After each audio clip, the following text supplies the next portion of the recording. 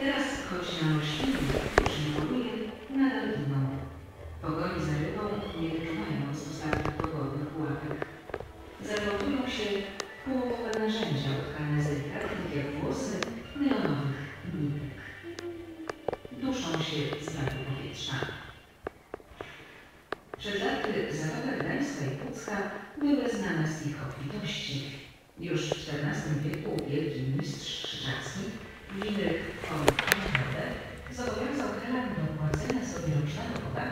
od złowionych morświnów. W XVIII i XIX wieku ich bałtyccy łowcy zrzeszali się w cechach. Wydawiany tłuszcz ceniono w ludowej medycynie.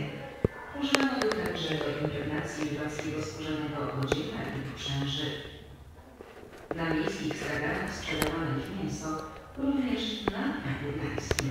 Na początku XX wieku bałtyckie delfiny, jak je wówczas nazywano, były tak liczne, że polskie władze premiowały złowienie lub zabicie zwierzęcia kwotą dwóch, a potem nawet pięciu złotych. Traktowano je wówczas jako konkurenta rybołówstwa oraz winowajcę niszczenia sieci.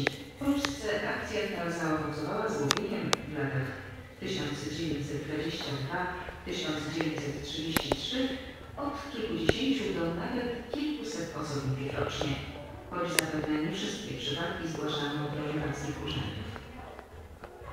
Dzisiaj dostrzeżenie roślina jest niezwykle trudne. Możliwe jest to prawie wyłącznie przy braku fali i bardzo dobrej widoczności.